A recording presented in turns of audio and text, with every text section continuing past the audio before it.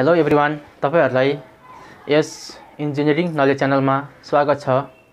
Friends तपाईँहरू पहिलोपटक हाम्रो इन्जिनियरिङ नलेज च्यानलमा भिजिट गर्दै हुनुहुन्छ भने प्लिज तपाईँहरूले हाम्रो च्यानललाई like share watch and subscribe गरेर साथ दिनुहोला। सँगै आएको बेल आइकनलाई प्रेस गरिदिनु होला जसले गर्दा तपाईँहरूले नयाँ नयाँ भिडियोहरू पाउनुहुन्छ। आज मैले तपाईँहरू समक्ष एप्लाइड मेकानिक सेकेन्डमा रहेको डिएलएमबार्स प्रिन्सिपलको थ्योरी लिएर आएको छु सँगसँगै एक्सटर्नल र इफेक्टिभ फोर्स डायग्रामको पनि छन् चर्चा गर्नेछु। सो अब डिएलएमएस प्रिन्सिपल भनेको के हो? यसको चाहिँ एक्सटर्नल र इफेक्टिभ फोर्स डायग्रामहरू के के हुन् भन्ने कुरा चर्चा गरौँ है त? ओके हेर्नुहोस् त डिएलएमआर्स प्रिन्सिपल भनेको के रहेछ? पहिला स्टेटमेन्ट हेरौँ है त? If summation F is the sum of the external force acting on a particle and A is the acceleration of the each particle according to the D'Alembert's principle summation F is equal to MA हुन्छ। That is summation F external force is equal to MA effective force हुन्छ। भनेपछि अब हामीले चाहिँ यो कसरी चाहिँ थाहा पाउन सकिन्छ भन्दाखेरि सिम्पल डिएलएमआर्स प्रिन्सिपल भनेको के भन्दाखेरि सिम्पली बुझ्दाखेरि Newton's second law of the motion नै हो। जस्तो Newton second law of motion भनेको फोर्स इजिकल के हुन्थ्यो? एमए हुन्थ्यो। हो? अब यहाँ rigid body of the plane मोसनमा हामीले डिएलएम्बर्स प्रिन्सिपल हेर्छौँ। त्यसमा चाहिँ के हुन्छ भन्दाखेरि कुनै पनि पार्टिकलको के हुन्छन् एक्सटर्नल फोर्स इजिकल टु के हुन्छन्? Mass into acceleration of the particle हुन्छ। त्यसो भने इक्जाम्पलको लागि हेरौँ है त। यो एउटा के छन्? रिजिड बडी छ। यसरी रिजिड बडी छ। रिजिड बडीको सेन्ट्रोइड जे छ। यहाँ डिफ्रेन्ट किसिमका के छन्? पार्टिकलहरू छन्। साना साना पार्टिकलहरू छन्। यसको मास चाहिँ एम छ। यसमा यो रिजिड बडीमा डिफ्रेन्ट किसिमका के छन्? फोर्सहरू लाग्छन् यो एफ वान छ यो एफ टू छ यो एफ थ्री छ यो एफ फोर छ। यस्तै सो वान डिफ्रेन्ट किसिमका छन्। यो रिजिड बडीमा फोर्स लागेको छन् यो चाहिँ के छन्? एक्सटर्नल फोर्स भन्छ यसलाई।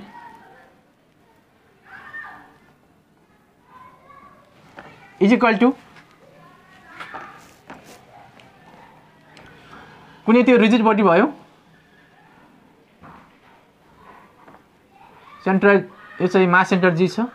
यो चाहिँ मास टाइम्स एक्सलेसन हुन्छ भन्छ। एक्सलेसन भनेको ए बार है त अझ किन भन्दाखेरि यो मास सेन्टर जीबाट चाहिँ पास हुने एक्सलेसन हो। त्यसरी ए बारले गर्ने है त। तर ए ए मात्र लेख्दा पनि हुन्छ। तर ए बार डिनर गर्दा चाहिँ अझ राम्रो हुन्छ है त? हामी नोटेसन चाहिँ ए बार गर्ने गरिन्छ। यसलाई चाहिँ के भन्छन्? इफेक्टिभ फोर्स भन्छ। यहाँ त अब डिफ्रेन्ट किसिमका के छन्? पार्टिकलहरू छन्। यहाँ मास छ।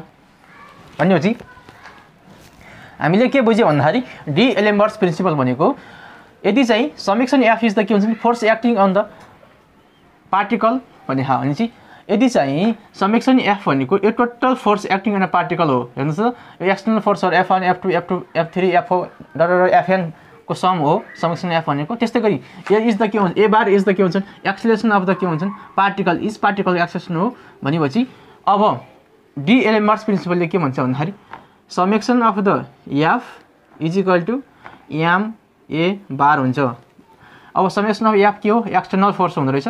एक्सटर्नल फोर्स अब एम ए बार चाहिँ के हुन्छ? इफेक्टिभ फोर्स हुँदो रहेछ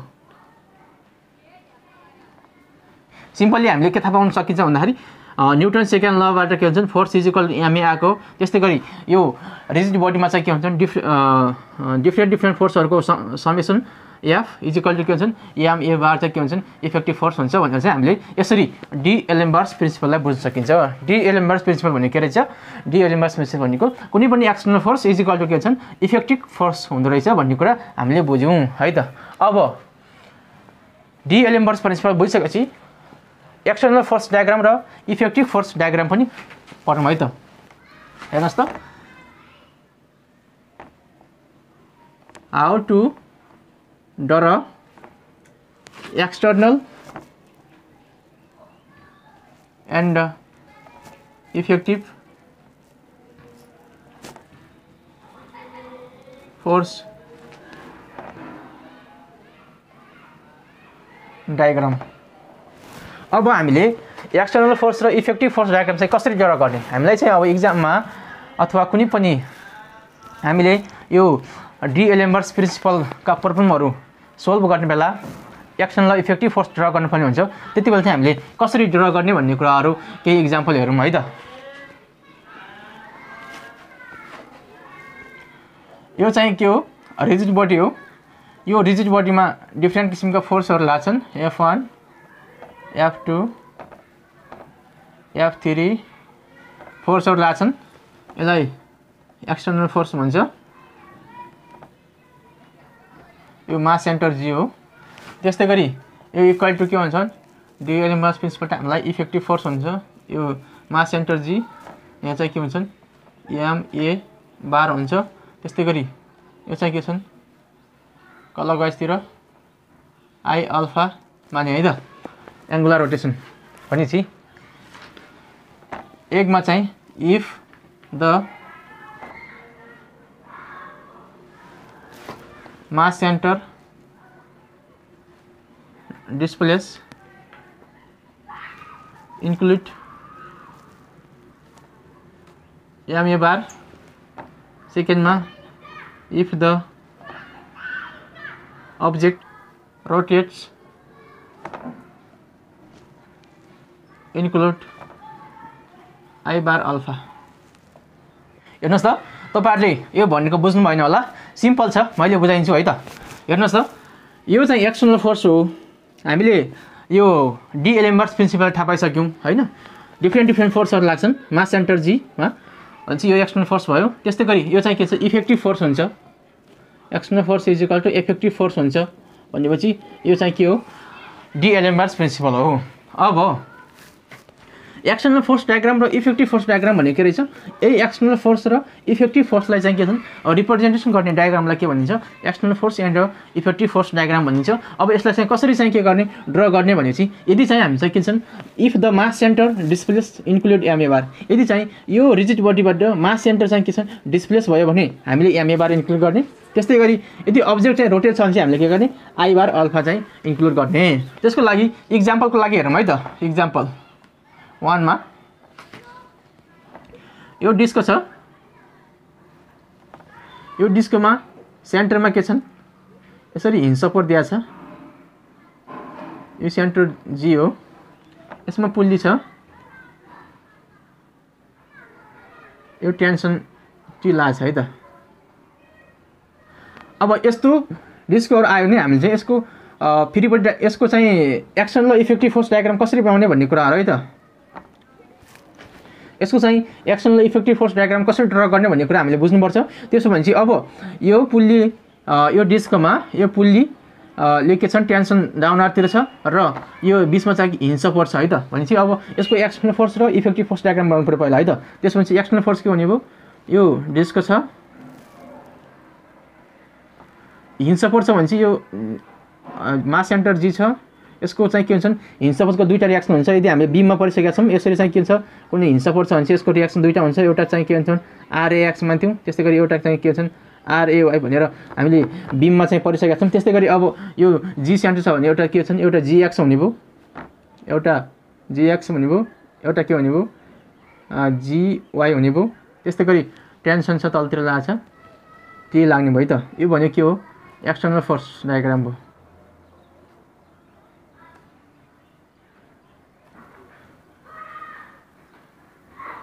इज इक्वल टु अब इफेक्टिभ फोर्स डायग्राम भन्नु पऱ्यो। यो डिस्क छ यो मास सेन्टर जी छ। इफेक्टिभ फोर्स डायग्राम यसलाई इफेक्टिभ फोर्स भन्छ है त? इफेक्टिभ फोर्स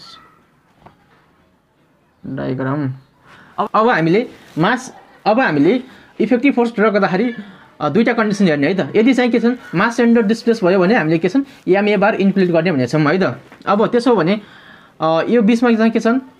डिस्को चाहिँ के छ? हिंसा पर्छ हिंसा सपोर्ट भनेको दुइटा रियाक्सन हुन्छन्। आरएक्स र आरजिवाई हुन्छ भने चाहिँ यो चाहिँ के छन् फिक्स सपोर्टमा चाहिँ के हुन्छन्? यिनले चाहिँ के गरे? कुनै पनि चाहिँ हर्जेन्टल र भर्टिकल फोर्स हेर्नुहोस् त। यो हिन्जो सपोर्ट छ। यसको चाहिँ एउटा रियाक्सन आरएक्स हुन्छ। यसको चाहिँ के हुन्छन्? आरएवाई हुन्छ। भर्टिकल हुन्छ। अब के गर्छन्? हर्जेन्टल फोर्सलाई पनि के गर्छ यसले रेसिस्ट गरिदिन्छ भर्टिकल फोर्सलाई पनि के हुन्छ रेसिस्ट गरिदिन्छ भनेपछि यसले न त हर्जेन्टल जानिदिन्छ न त भर्टिकल जानिदिन्छ भनेपछि मास सेन्टर के छन्? यो जी सेन्टरबाट यो मास सेन्टर जीबाट चाहिँ के हुन्छ? डिस्प्लेस हुन सक्ने रहन्छ। भनेपछि मास सेन्टर के हुन्छ? डिस्प्लेस हुन्न। उहाँले के हुन्छ यसले चाहिँ मोमेन्टम मात्र के हुन्छ डिस्प्लेस हुन्छ भनेपछि उहाँले चाहिँ के हुन्छ अब मोमेन्टम मात्र डिस्प्लेस हुन्छ भनेपछि अब्जेक्ट मात्र रोटेट हुन्छ भनेपछि के हुनुभयो? हामीले मास सेन्टर इन्क्लुड भएन। अब मास सेन्टरले के गर्ने? डिस्प्लेस गर्न सकिनँ। किन भन्दाखेरि बिचमा हिंसा पर्छ भनेपछि मास सेन्टर के हुन्छ डिस्प्लेस भएन भनेपछि एम ए बार हामीले गर्नु पऱ्यो त? परेन। एम ए बार हामीले के गर्ने? इन्क्लुड नगर्ने। अब अन्ली के गर्नु पऱ्यो? डिस्प्ले अब्जेक्ट चाहिँ के छ? रोटेट हुन्छ। तर हिंसापुरमा चाहिँ के हुन्छ?